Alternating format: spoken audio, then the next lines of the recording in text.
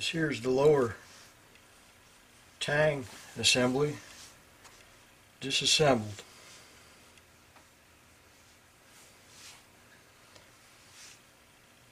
So what I'm going to do first is insert this small spring into the top of the trigger.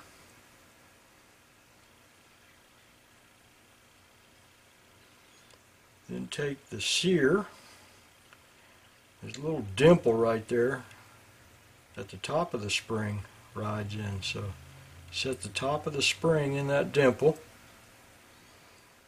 and push it together.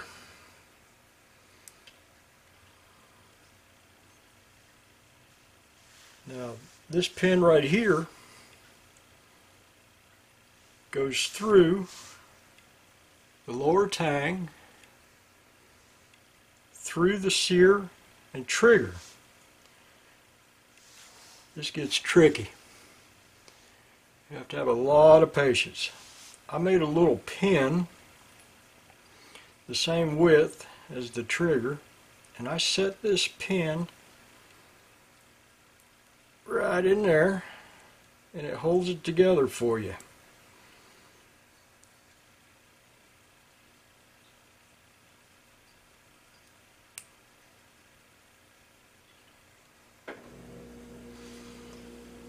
Now you got to have a lot of patience here because it takes quite a few tries before you get this in.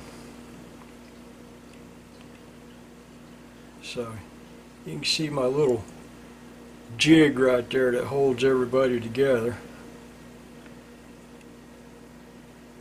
And we're going to set it right in here.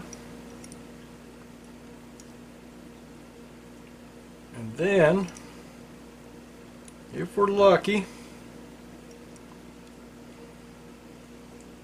we'll slide the pin in and push our jig pin out if we're lucky. This takes the patience of Job right here. Let's see if we're lined up on the other side there. That looks good. Are we going in?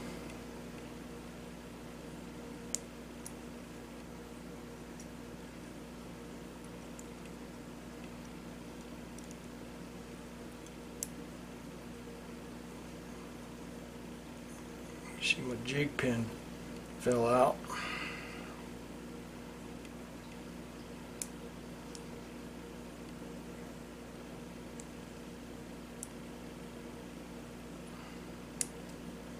Okay, we're almost there. Just gotta get this side lined up. There we go. Now, without this little jig pin, you'll have to make one. Get you a brass punch like that. Try to get one uh, with a closer diameter to the to the hole right there. This one's a little bit smaller and it, it makes it a little bit more difficult to line up. But cut it off, and that what that pin does is holds the spring and the sear and the trigger together while you're trying to put it into the lower tang. If you didn't have that jig pin, there is no way you could get your fingers down in there and work it all in with that spring in there. The spring is what makes it difficult. The spring wants to push the sear and the trigger apart.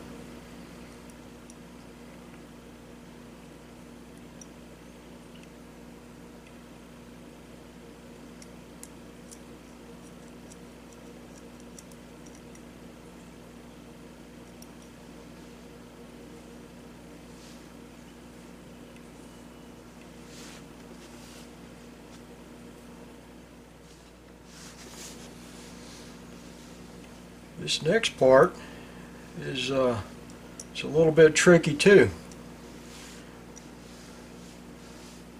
Right up here is the tail of the sear. the tail of the sear needs to sit up under this spring. That's real easy to forget to do that, but it's very important that it sit underneath of the spring.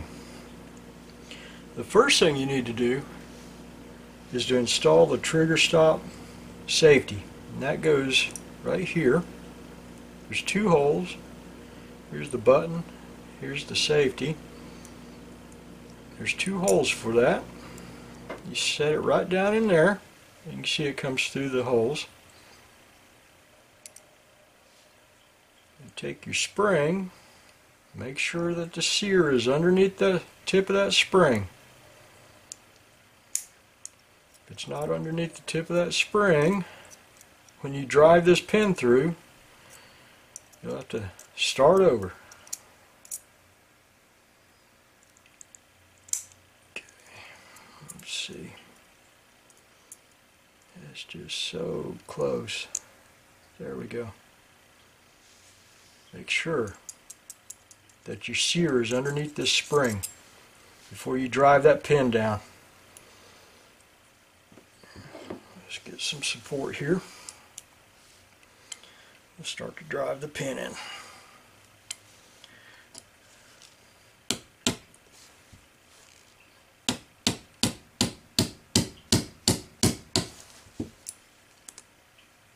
You have to push the spring down. Pin goes through the valley of the spring. You have to push that pin down with your thumb while you're hammering.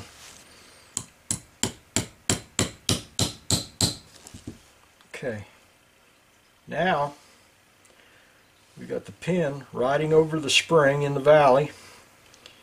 We want to drive that same pin through a hole in the back of the trigger stop safety. So you want to keep keep all that lined up. Let's go look, see how we're doing. A little bit more. A little bit more. A little bit tricky because trigger stop safety wants to keep popping out. There, I think we got real close now.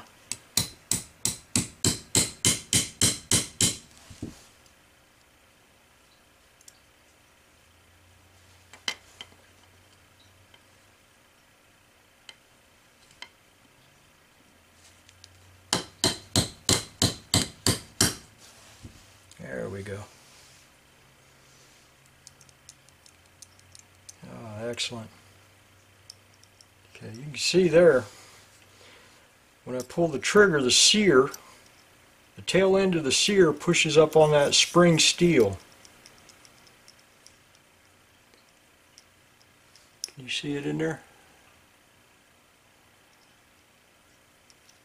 I get it. Right there it is. See your spring. There's the tail end of the sear right there. That same spring pushes down on the trigger stop safety.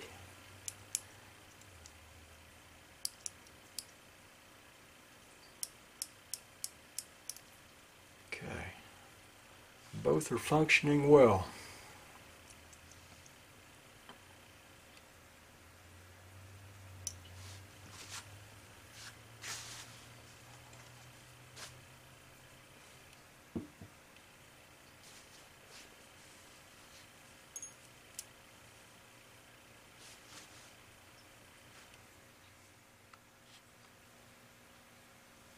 Now what we're going to do is install the hammer spring. Onto the hammer spring strut. We have to compress the spring onto the hammer spring strut. And after we get it compressed there's a hole right here that we're going to take this small screwdriver and set into that hole. And that small screwdriver is going to hold the compressed spring onto the hammer spring strut. It's not an easy thing to do and it usually takes me a couple of times to get it right. Uh, one thing we do need to be concerned with when we insert our screwdriver. We want our screwdriver to come in from this direction right here. We have this elbow right here pointing down and we want the screwdriver to come in from this direction. Okay, let's see if we can get it. Uh, one thing I do use is a pair of pliers to compress that spring. It gives me enough leverage to push that spring down. So here we're going to put the spring on the hammer spring strut. And now, let me get this turned the right way so I can insert that screwdriver.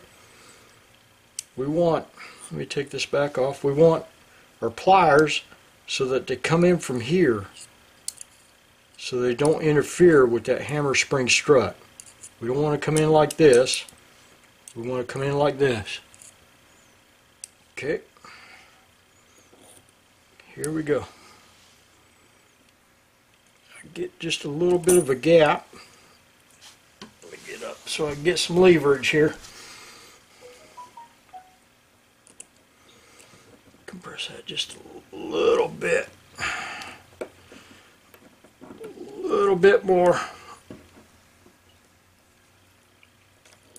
Okay, we're going in with the screwdriver. Oh, there we go. That's how it usually works. Let's try it again.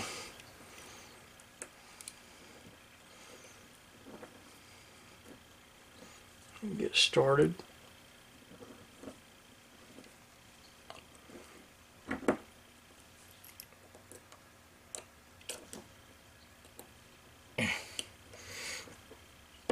There. Took two times that time. It usually takes me three or four. So now that screwdriver is holding that compressed spring onto the hammer spring strut. We can take our pliers out now. That spring will go forward into the hammer spring strut. There we go. You want you pretty good, uh, you want to put a, you want to use a pretty good strength screw driver or a nail or whatever you use. It has to be pretty good strength because when you separate that that set of pliers, you don't want this to bend. You don't want that screwdriver or nail or whatever you use to bend. Okay. Now, let's see if we can get it installed into the lower tang. We have this part right here. And uh, let me explain to you why we come in from this side. There's a couple of ways to install this hammer spring strut, but it only works one way. We can put it in that way so that the elbow is going up, but that won't work. Your rebounding hammer will not rebound, and you'll probably have light strikes on the primer when the because it won't have enough spring tension to push the hammer forward. So this elbow right here, I get this up where you can see it. This elbow needs to be pointing down. So you come up over here and you go down into the lower tang. That's the correct orientation. So, let's get our hammer forward. There's two grooves that the hammer spring strut rides in. This is the top groove and this is the bottom groove. That tang, that upper tang and that lower tang of the hammer strut safety rides in those grooves.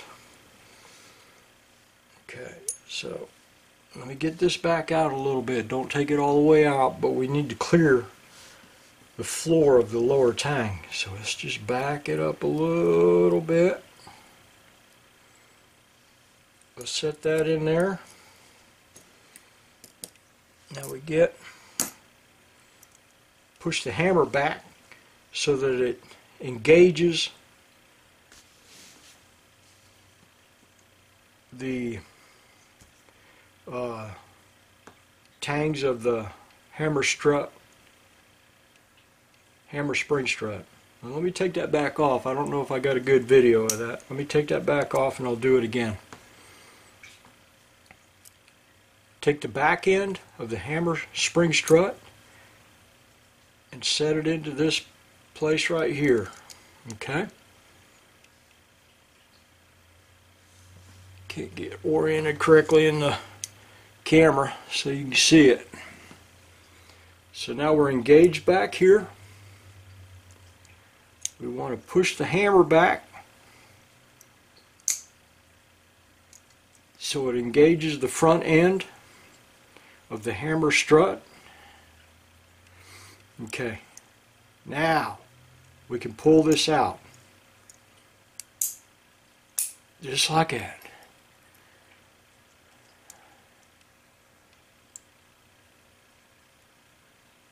That's the reassembly of the lower tang assembly.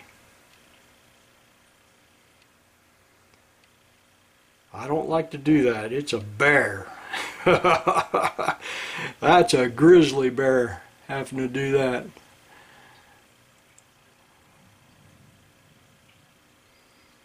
So normally when I disassemble my rifle, I leave this part alone.